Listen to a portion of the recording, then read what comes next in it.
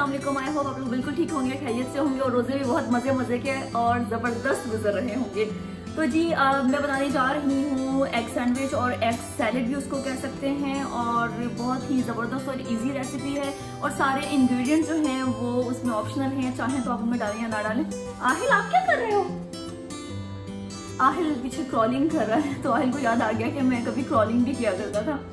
तो जी आ, साथ में पीना खुलाडा बना रही हूँ जो कि बहुत ही मज़े का होता है। मुझे तो बहुत ही ज़्यादा पसंद है। तो आई होप आपको वीडियो पसंद आएगी। तो जी वीडियो स्टार्ट करते हैं। लेकिन उससे पहले आपने अगर चैनल अभी तक सब्सक्राइब नहीं किया तो अब ज़रूर कर लीजिए और वीडियो को लाइक ज़रूर कीजिएगा कमेंट ज़रूर कीजिएगा और जो चीज़ें बताई हैं वो लाजमी आपने करनी है। ठीक है जी चलिए वीडियो स्टार्ट करते हैं। जी इसके लिए हमें चाहिए दो बॉयल्ड एग और एग हमने बॉईल कर लिए हैं। हमें चाहिए मेयोनीज़ और गार्लिक सॉस भी आप ले सकते हैं और प्लेन मेयोनीज़ भी ले सकते हैं।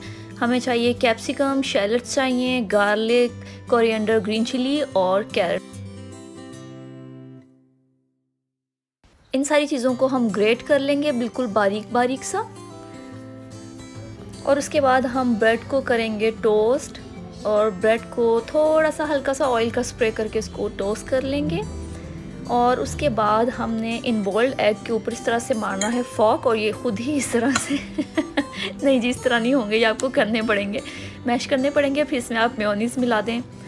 और मेयोनीज़ मिला के इसको अच्छे तरीके से मिक्स कर लीजिए। इसमें अब हम ऐड करेंगे salt and black pepper as per taste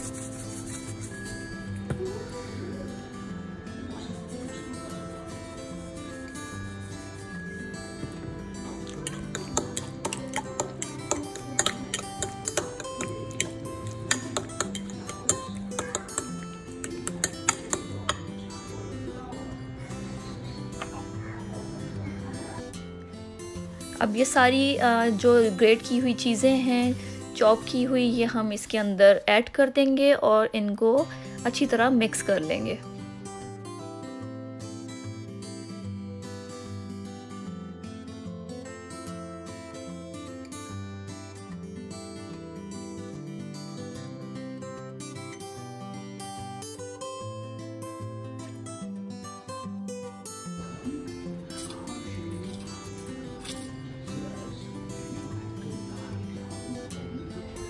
bread को हम दोनों तरफ़ से टोस्ट कर लेंगे और उसके बाद हम इसको बीच में से काट के हाफ़ कर लेंगे ताकि इसको खाने में आसानी हो, क्योंकि हम इसको डबल नहीं कर रहे और इसको अच्छे तरीके से इसके ऊपर स्प्रेड कर लेंगे।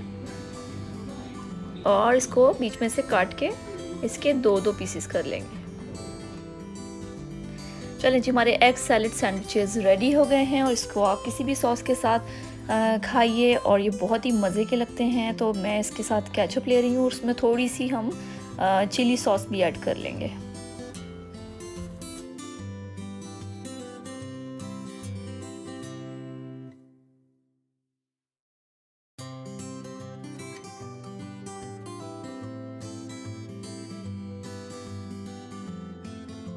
जी, अब हम बनाएँगे पीना कोलाडा और इसके लिए हमें चाहिए पिसी हुई चीनी कास्टर शुगर नॉर्मल शुगर भी ले सकते हैं। हमें पाइन पीसीस चाहिए। पाइन के स्लाइसेस ले लें, जिस तरह का भी पाइन आपके पास हो।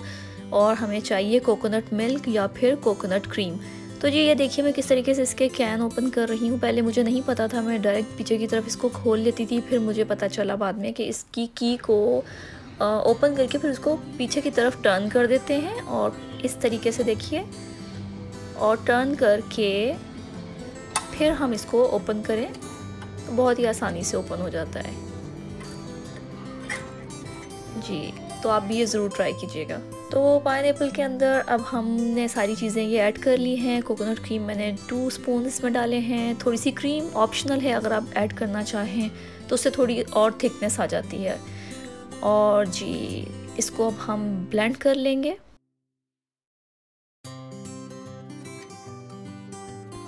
आइस जो है वो ऑप्शनल है, चाहे तो आइस के साथ ही इसको आप ब्लेंड कर लीजिए, लेकिन यहाँ पे अभी विंटर स्टार्ट हो गया है तो मैं आइस इसके अंदर कम बाद में डाल रही हूँ। और जी, हमारा पीना कुलाडा रेडी है।